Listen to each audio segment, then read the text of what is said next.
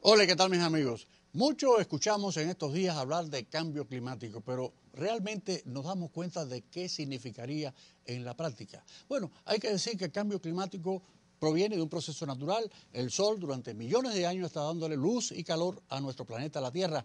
Parte de la radiación se escapa al espacio, pero ¿qué ocurre? Desde mil 880 o un poco antes, con la revolución industrial, pues ha habido un incremento de los gases llamados efecto invernadero que atrapan el calor y por lo tanto nuestro planeta se va calentando más y más.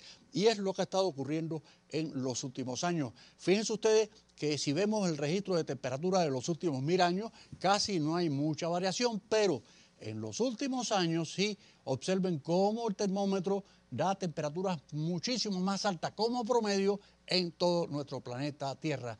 Y la noticia es que en este 2014 que acaba de pasar ha sido el año más caluroso desde que empezaron los registros en 1880 a nivel de todo el planeta. Algo para pensar. Pero bueno, Fíjense ustedes qué podría dar el cambio climático en el 2050, pues tendríamos huracanes más intensos, más categorías 3, 4 y 5, tendríamos una mayor elevación del nivel medio del mar, tendríamos además pues tormentas, mareas de tormentas mucho más altas en los huracanes, tendríamos entonces pues también zonas de lluvia, zonas de sequía, tendríamos muchas cosas que en realidad no son buenas. Vamos, para hacernos idea, ver un pronóstico hipotético del martes 23 de agosto del 2050. Miren, temperaturas que se elevarían en todo el área del Caribe. Habría zonas de sequía, con muy poca lluvia, y otras zonas de mucha lluvia, porque se aproxima un huracán. Y ese huracán, hipotético, huracán Filomena, está a punto de llegar con categoría 5 a la isla de Antigua Barbuda en las próximas 48 horas. Y fíjense que los vientos que tiene son de 255 kilómetros por hora con rachas hasta 300 o más. Por lo tanto, eso hace pensar en que tenemos que tener presente siempre el cambio climático. Hasta la próxima. Comme vous venez de le voir, le changement climatique va de plus en plus influer sur les conditions météorologiques quotidiennes.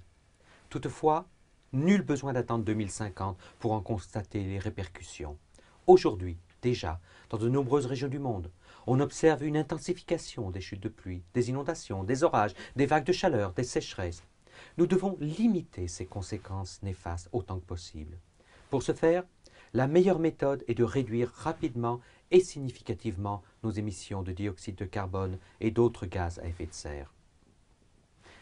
Par ailleurs, dans la mesure où la planète est déjà soumise à un réchauffement important, nous devons apprendre à nous adapter à l'évolution du climat. Il est nécessaire de renforcer les capacités d'adaptation au climat en aidant nos villes, nos sociétés à mieux faire face aux phénomènes météorologiques extrêmes.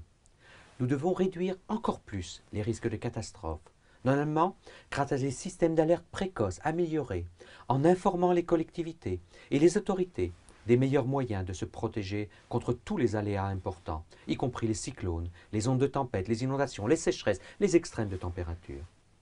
Nous devons également développer les services météorologiques existants en créant des services climatologiques qui aident la population à comprendre quelles sont les vulnérabilités actuelles et futures face au climat et comment en tenir compte. Le message des scientifiques est clair. Plus nous réduirons les émissions de gaz à effet de serre, moins nous aurons à faire pour nous adapter et plus légère sera la facture. Œuvrons donc ensemble à un avenir plus sûr et viable pour nous-mêmes et pour les générations futures. Je vous remercie.